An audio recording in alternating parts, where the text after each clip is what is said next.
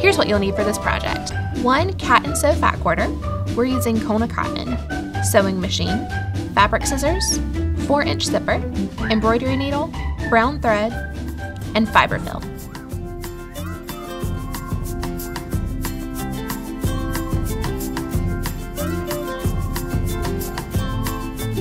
Cut out all the pattern pieces.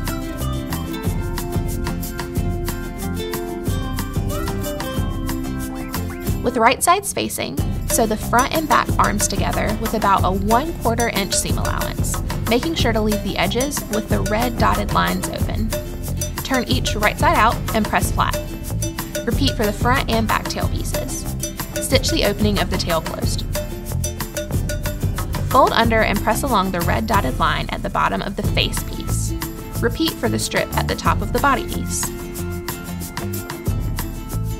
Fold and press under 1 half inch at the bottom of the inner face lining and the top of the inner front lining.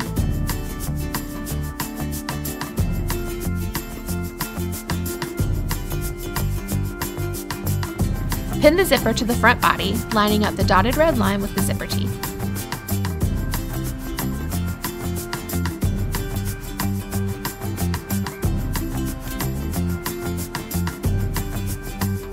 Stitch in place. Repeat to attach the face. You should now have a complete cat front. With the right sides facing, sew the inner face and front lining pieces to the back lining piece, leaving the mouth section open and ready to attach to the zipper later.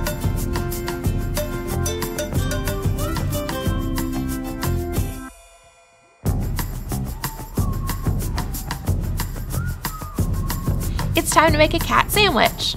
With right sides facing and the zipper open, pin together the front body and the back body with the arms and optional tag positioned between the two layers.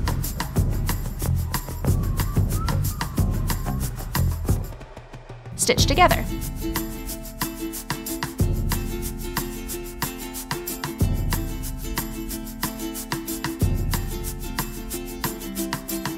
And turn your pencil case right sides out. Top stitch along the line that divides the head from the ears so they are no longer accessible from the inside.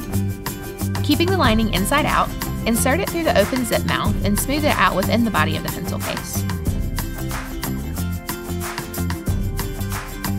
Then, sew the folded edges of the lining mouth opening to the inner sides of the zipper. Matching the tail up with the red cross mark on the back, attach the tail by hand stitching. We used a whip stitch, but you can also use a cross stitch or a small button as decoration. And you're done! Your pencil pouch is complete.